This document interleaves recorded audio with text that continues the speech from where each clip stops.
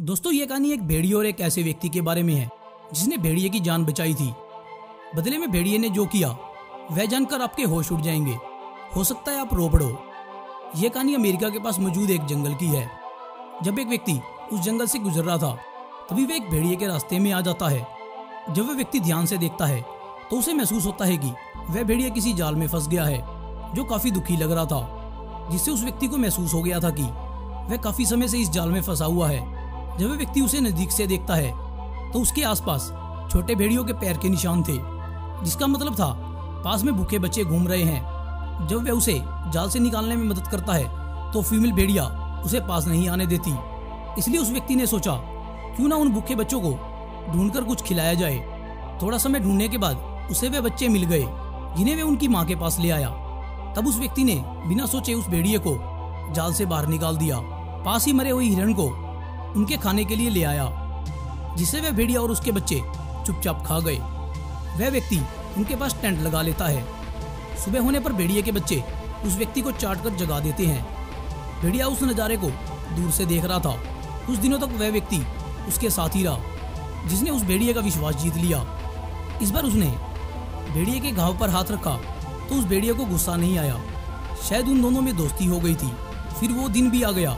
जब वो व्यक्ति वह जगह छोड़कर जा रहा था, कुछ देर सड़क पर चलने के बाद, जब उसने पीछे देखा, तब उसे वह भेड़िया और उसके बच्चे पीछा करते हुए नज़र आए। वह व्यक्ति ने हाथ हिलाकर अलविदा कहा।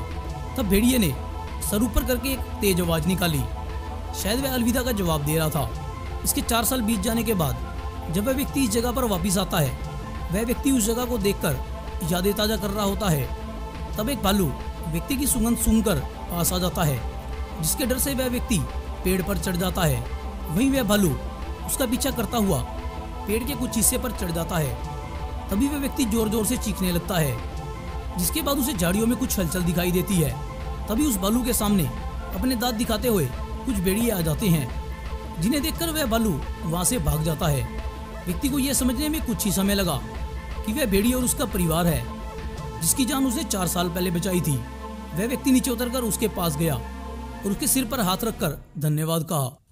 भेड़िए ने भी जवाब में तेज आवाज़ निकाली। फिर वह कुछ समय उनके साथ बिताकर अपने घर चला गया और वापस लौटकर कभी उस जगह नहीं आया।